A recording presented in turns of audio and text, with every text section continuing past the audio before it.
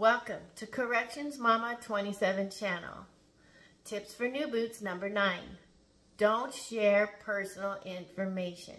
Be careful who you share personal information with. Be careful who's listening, who's on the other side of that wall, who's around the corner listening to what you have to say. Inmates will always be bending their ear trying to get personal information and gathering data on everybody. So make sure that you're careful who you talk to. Officers often can turn on you as well. And officers will share your information, some officers will, with inmates and other staff. And before you know it, everybody knows your business.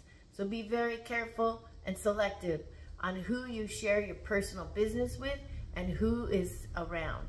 Be sure you like, share, subscribe, push that notification bell, and ask questions or comments. Thank you.